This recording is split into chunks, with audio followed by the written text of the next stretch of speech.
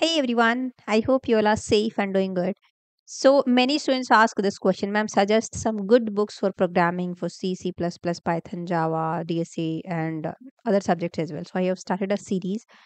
The first, this is the first lecture of that series, and in, in, in this lecture, I'm going to tell you what are some good books for Java. You can say five best books books for Java.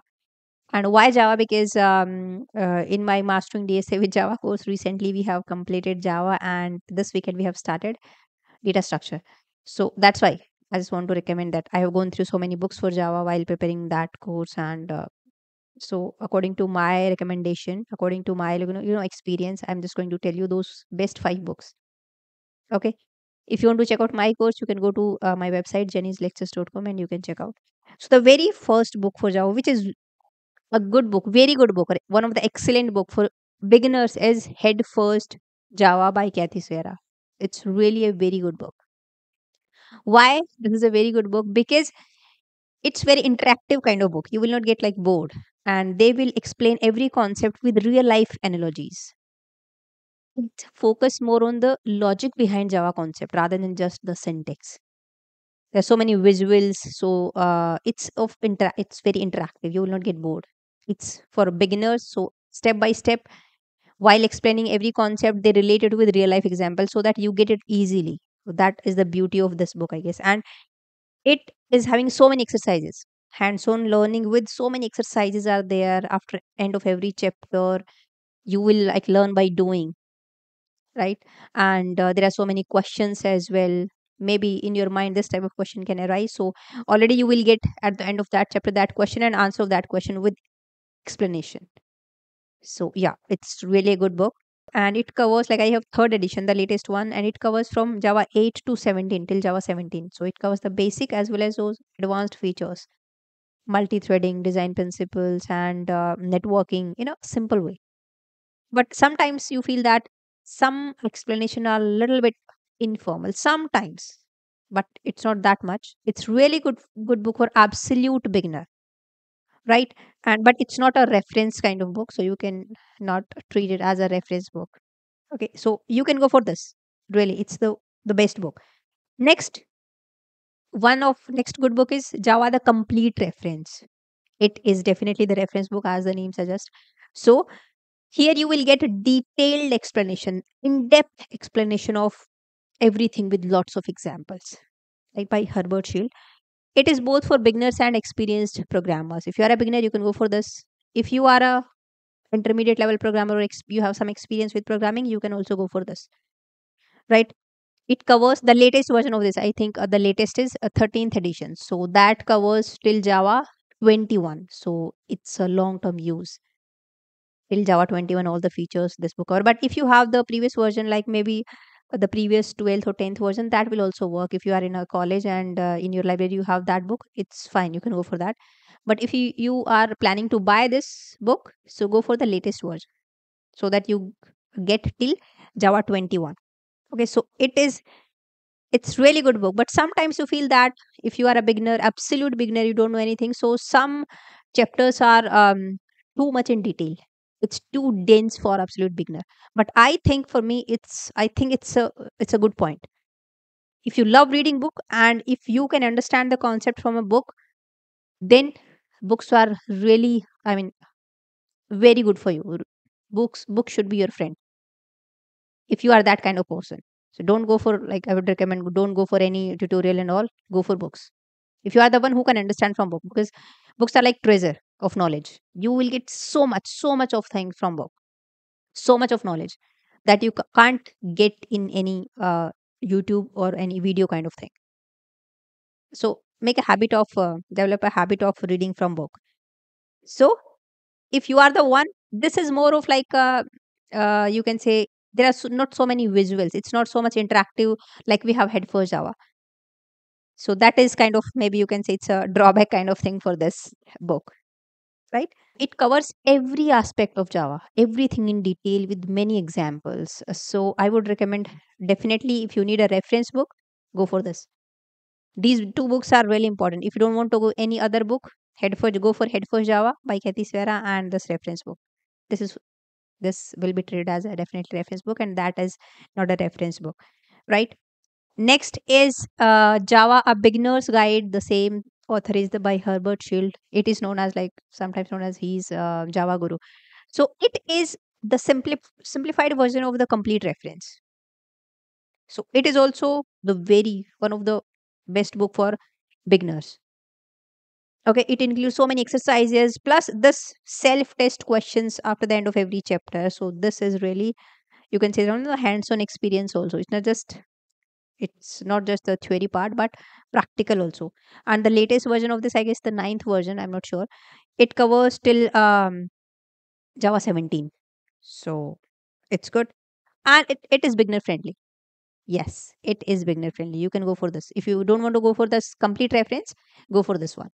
So it start with the basics covering the basics and steadily move to the advanced java topics. But um, those advanced java topics are not covered in deep in this book so as the name suggests, suggests it is like beginners friendly. So yeah, you will get a systematic and structured, well structured example approach. If you are absolute beginner, you can go for this book.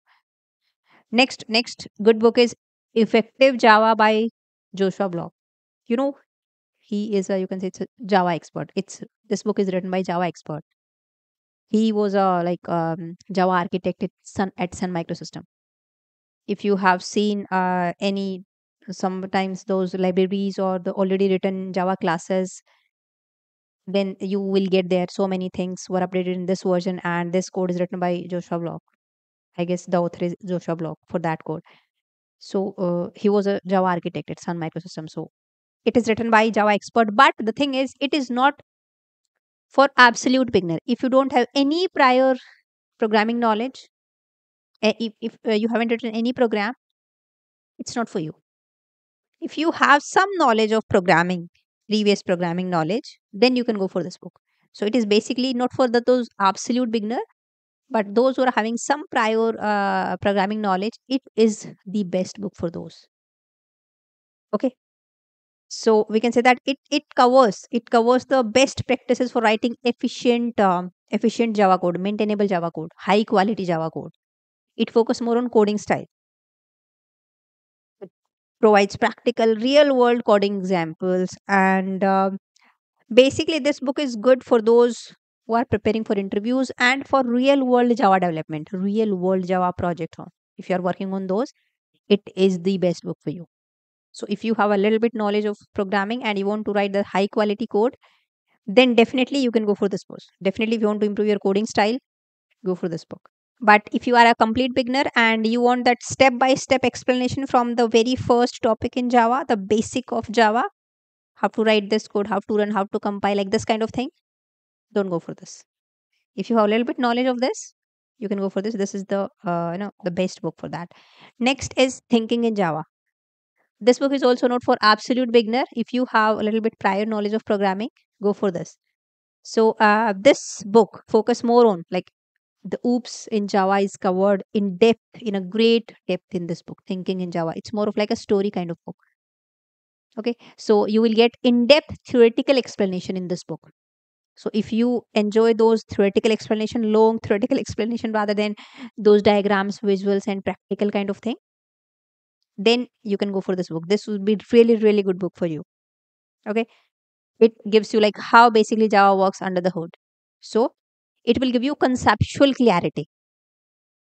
Okay why? Why things work rather than how? So it focus on more that. I really love this book because i always uh, if i read any anything else i always ask these questions why? So i want answer of why. So that's why. If you are that kind of person go for this book. This is this is you can say one of the best so i've told you now here you will get more of theoretical explanation and uh, less of like practical examples than other books. And obviously not that much visuals you will get like you get in head first uh, java right? So it is basically for those for those developers who want a in-depth and good understanding of java and especially oops. Okay and advanced concepts are also covered in depth in this case. So but if you want if you're someone looking for quick and um, practical way to just start coding in java it's not for you. It's more of theoretical kind of thing. Okay okay the practical is also there but less. Theoretical explanation why things work is more in this book. But it's like a storybook kind of thing. So if you're that kind of person then go for this book. So these are, I guess, uh, the for beginners, head first Java and uh, those complete reference book, and you can say that Java beginners guide. These are th- three books are specially for beginners and complete references for uh, experienced programmer as well. But these last two books, Effective Java and Thinking in Java, if you're more on like a practical kind of thing, real world Java projects, you want to do that thing and that kind of thing. If you want to understand why things work, conceptual clarity, you want, then you can go for these last two books. So I hope this video will help you. Uh, one or two more books are there, but I just just wanted to cover the the best five books. So that's why I think uh, that book, um, uh, Core Java, sorry, Core Java Volume One, that fundamentals, that is also a good book for beginner. So if you have that book, Core Java Volume One Fundamentals, that will also work. But I would recommend for every students go for that one book, Complete Reference, Java Complete Reference by Herbert Schildt, because that is really good book for beginner as well as for experienced programmers. You will get in-depth knowledge of everything there. So I hope this video will be helpful for you guys. You can just let me in the comment section what book you have from these or you want to purchase. And if you want me to upload more such kind of videos, you can just let me know in the comment section for which subject or for which you want best resources or the books. Okay, I'll try to upload that video also. So now that's it for this video. And I'll see you in the next video. Till then, bye bye.